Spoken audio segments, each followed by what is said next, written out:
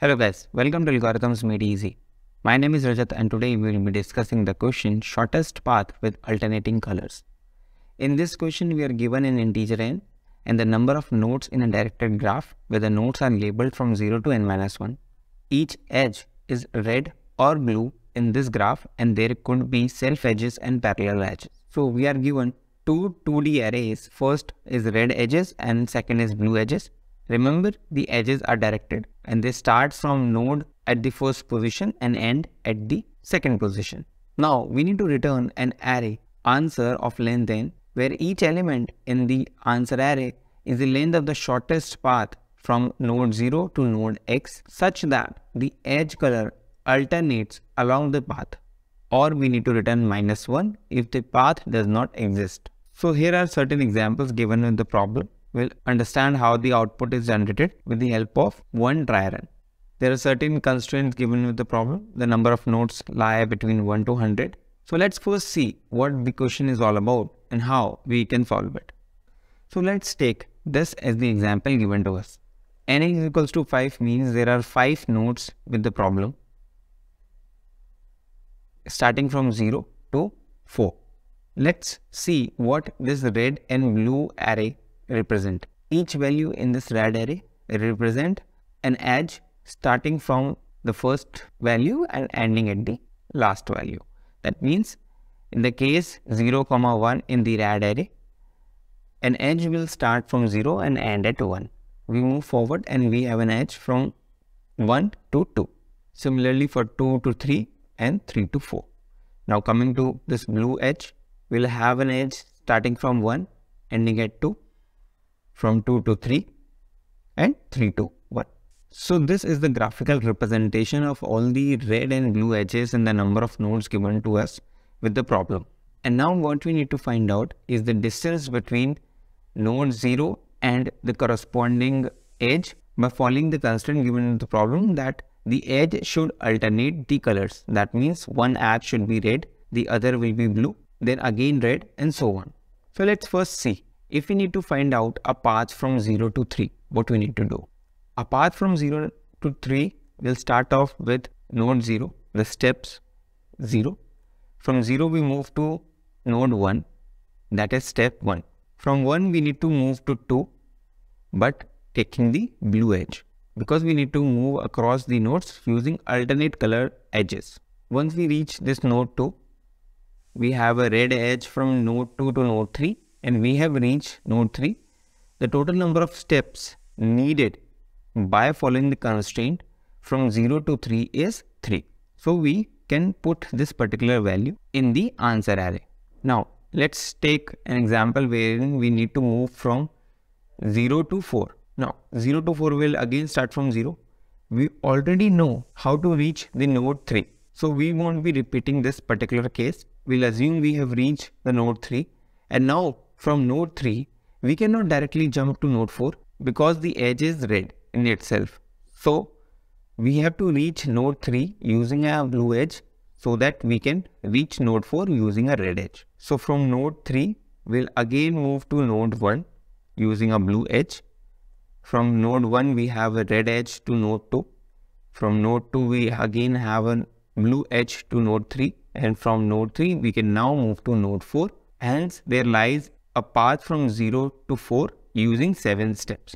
So we will return this. In this problem, we can reuse the same node again and again, but we won't be reusing the edges.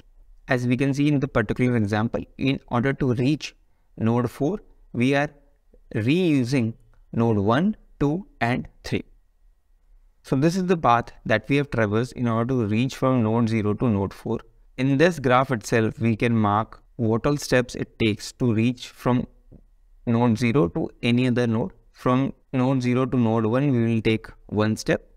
Node 2, we will be taking two steps. Node 3 taking three steps and node 4 is taking seven steps.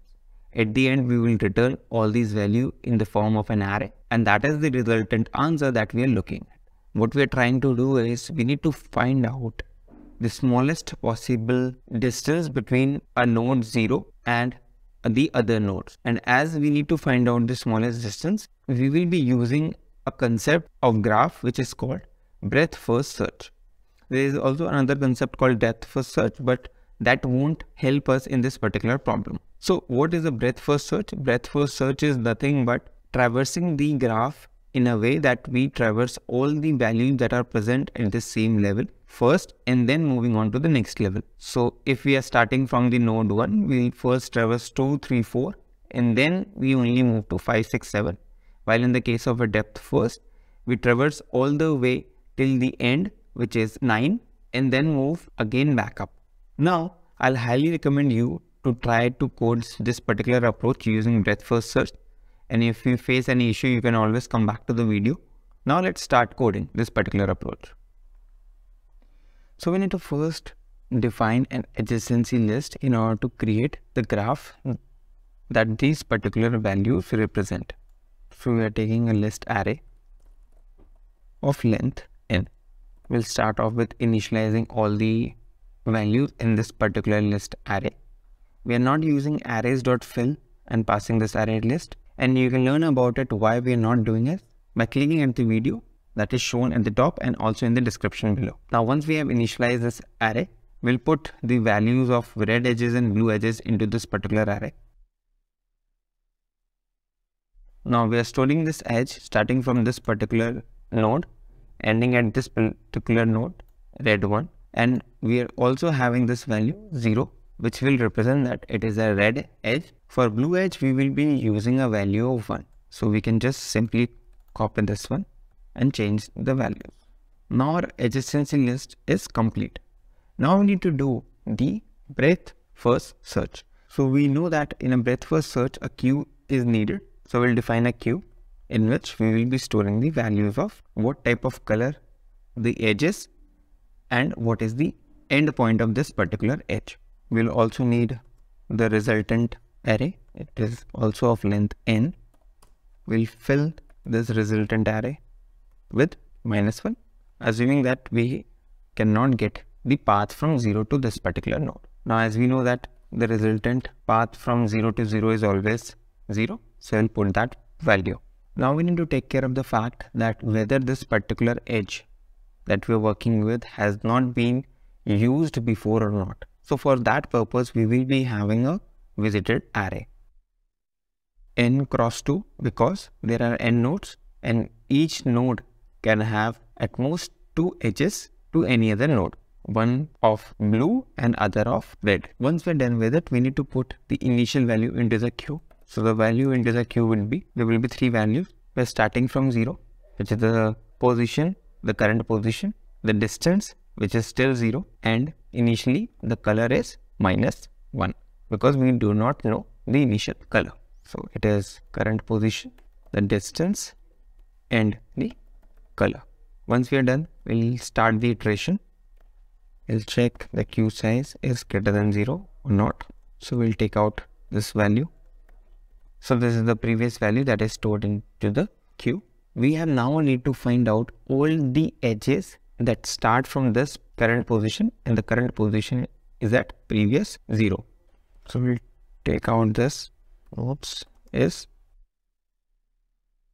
we'll now iterate over all these nodes. So these are the next nodes that we are working with. Now what we need to check? We need to check whether this particular next node is visited or not. And if it is visited, does the color matches with the previous color or not? The condition would be the node should not be visited and the color should not be the same. In both these cases, we will do the operation. Otherwise, we won't use this particular edge. So we'll write those conditions for the visited, the condition would be from 0.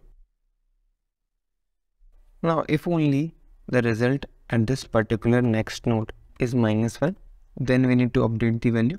Otherwise, as we know in breadth first, any answer that we got first will be the minimum value. So we need not to override those particular value at this position. The distance up till now was stored in previous one and we just need to add 1 into that result to get the next set of result. Once we are done, we need to mark this particular next node as true and add the value into the queue. So we know that the next will now be next comma 0. The length would be previous 1 plus 1 and the color will be next of 1. So this particular logic or the loop will find the distance between the node 0 and the rest of the nodes. Here we are updating the result array to store that particular result and at the end we just need to return this particular result array.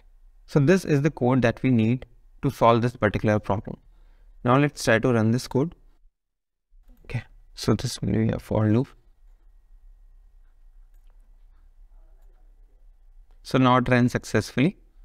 Let's submit this. So it got submitted successfully. The time complexity is V plus E, where V is the number of vertices or the nodes and E is the number of edges. I hope you like this video. Do let us know your thoughts, comments and queries in the comment section below. If you have any question that you want us to make a video on, do comment that as well. Thanks for watching. See you in the next one.